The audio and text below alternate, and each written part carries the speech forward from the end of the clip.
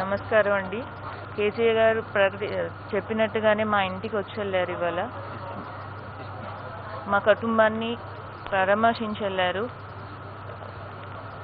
సంతోష్ బాబు గారిని తీసుకురాలేము కానీ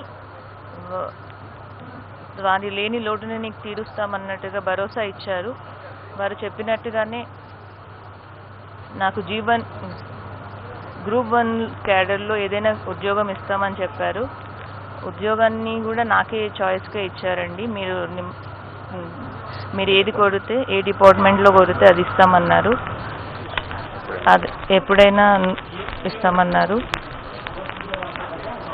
అలాగే సార్ వారు చెప్పినట్టుగా ఫైవ్ క్రోర్స్లో ఫోర్ క్రోర్స్ మా పిల్లల పేరు మీదను. వన్ క్రోర్స్ మా అత్తయ్య గారు సంతోష్ బాబు గారి తల్లి గారి పేరు మీద చెక్ కూడా ఇచ్చారు.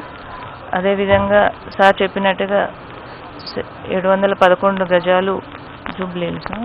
బంజారా హిల్స్లో ప్లేస్ ఇచ్చారండి. చాలా ధన్యవాదాలు. అదేవిధంగా నన్ను ఎలా అయితే ఆదుకున్నారో ఈ ఈ సంఘటన జరిగినప్పుడు అమరులైన మా జవాన్లకు కూడా అంతే విధంగా పది లక్షల రూపాయలు ఇస్తామని కేసీఆర్ గారు ప్రకటించినట్టుగానే నాకు మళ్ళీ చెప్పారు.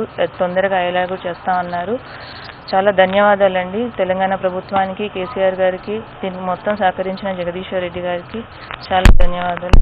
తెలంగాణ ప్రభుత్వానికి చాలా రుణపడి ఉంటాము ఎప్పుడైనా ఏ సమయంలోనే ఏ కావాలన్నా మీకు సాయశక్తుల సహకరిస్తామని కూడా చెప్పారు. కొంచెం సేపు మా పిల్ల మా పిల్లలతో కూడా స్పెండ్ చేశారు సారు.